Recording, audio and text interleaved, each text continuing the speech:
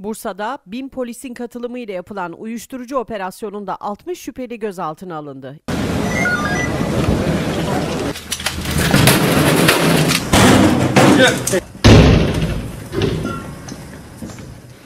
İl Emniyet Müdürlüğü Narkotik Suçlarla Mücadele Şube Müdürlüğü, Cumhuriyet Başsavcılığı koordinesindeki soruşturma kapsamında il genelinde uyuşturucuyla mücadele için operasyonlar gerçekleştirdi. Teknik ve fiziki takibin ardından 6 Mart sabahı harekete geçen ekipler, Bursa Cumhuriyet Başsavcılığı koordinesinde önceden belirlenen çok sayıda adrese 2 İHA ve drone destekli şafak vakti operasyon düzenledi. Operasyona özel harekat ve çevik kuvvet polislerinin de aralarında olduğu 1000 polis katıldı, 8 narkotik köpeği kullanıldı. Bu kapsamda 8 dedektör köpeği ve 2 insansız hava aracının destek verdiği operasyonda Özel Harekat Şube Müdürlüğü ekiplerinin de aralarında bulunduğu 1000 polis, önceden belirlenen noktalara baskın düzenledi. Eş zamanlı operasyonlarda 133 kişi hakkında uyuşturucu madde kullanmak suçundan işlem yapıldı. 60 şüpheli gözaltına alındı. Şüphelilerin evlerinin bulunduğu mahallelerin giriş ve çıkışları kapatılırken sokaklar polis ablukasına alındı.